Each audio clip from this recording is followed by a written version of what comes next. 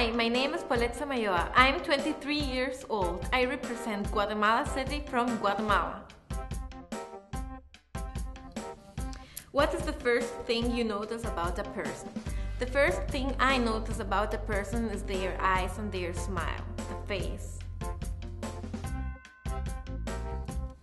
Rub your belly and pat your head and switch.